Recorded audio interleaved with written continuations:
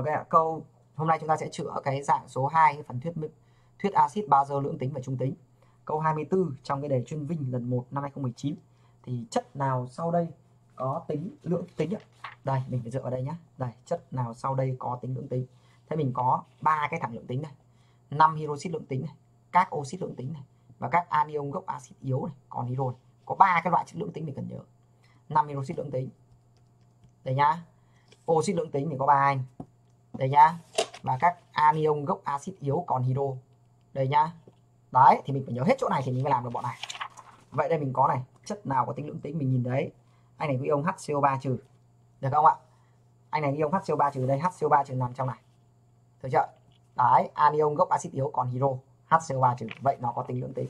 Vậy đáp án đúng chúng ta là đáp án C.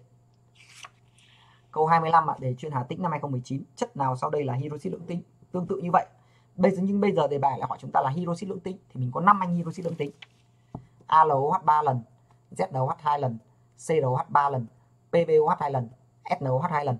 Vậy mình sẽ có, trong này mình chỉ có anh CROH 3 lần là nằm trong ba anh trên.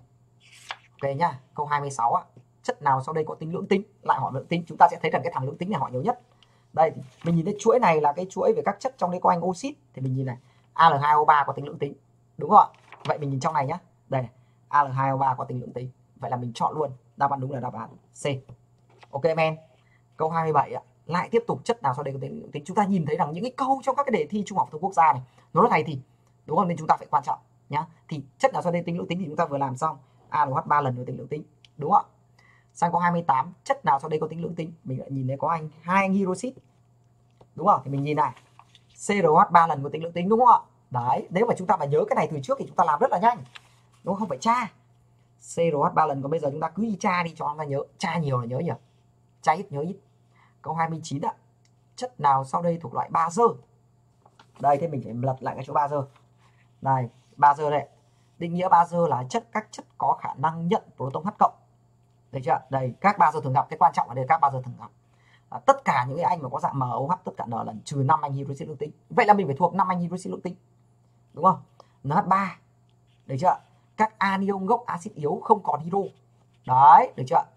Được chưa? Các anh anion gốc axit yếu không còn hydro. Vậy mình nhìn ở trong này, thì những anh nào thuộc loại bazơ mình nhìn nhá. Cl trừ này là trung tính, bỏ. Đúng không? NO3 trừ này là trung tính, bỏ. SO42 trừ này là trung tính, bỏ. Tại sao? Chúng mình lại biết nó là trung tính, bởi vì đây là anion của gốc axit yếu. Thì nó là trung tính. Đây anion gốc axit mạnh đây anion gốc axit mạnh, Cl trừ SO42 trừ NO3 trừ ClO4 trừ, thì nó là các chất trung tính. Được chưa vậy, ở đây, mình chỉ còn đáp án đúng của chúng ta là đáp án A mà thôi. Dễ chưa? Dễ nhá, cực kỳ dễ.